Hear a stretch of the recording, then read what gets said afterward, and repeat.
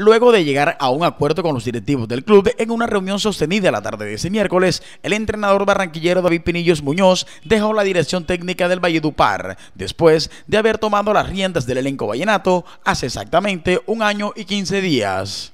Sí, mejor prefiero darle un paso al costado y que, bueno, pongan a cualquiera y, y, y, y bajas tú la presión, la bajas, la bajas. Vamos. Pinillos tuvo en 2016 un rendimiento total de 51,28%, producto de 27 partidos disputados, 15 en calidad de local y 12 fuera de su patio, sumando 25 puntos en casa y 15 fuera de ella. 40 puntos consiguió en toda la temporada.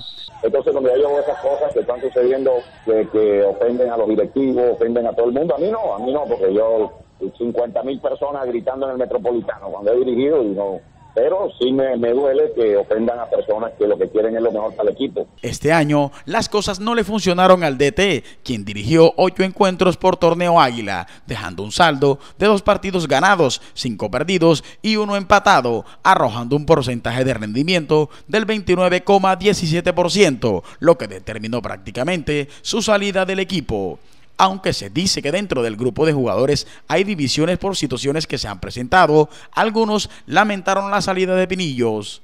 Pues el grupo la recibe de una manera, o sea, que no esperábamos en este momento a pesar de los resultados, porque ante todo es una persona, profesor, una persona muy especial que se deja querer de los jugadores y todo. Pues la verdad, en ningún grupo es bueno que, que, se vaya un técnico. Yo pienso en lo personal que, que, el profe, a pesar de que ya tenía todo el mundo en contra y, eso se siente, pero creo que el profesor, el profesor, Pinillo se entregó al máximo. Yo vi el grupo un poco, un poco dolido porque pues nosotros eh, en un año el cariño que le, tenemos, le teníamos al profe es muy bacano. A través de las diferentes redes sociales, la hinchada del equipo verde y blanco se pronunció tras la salida de Pinillos.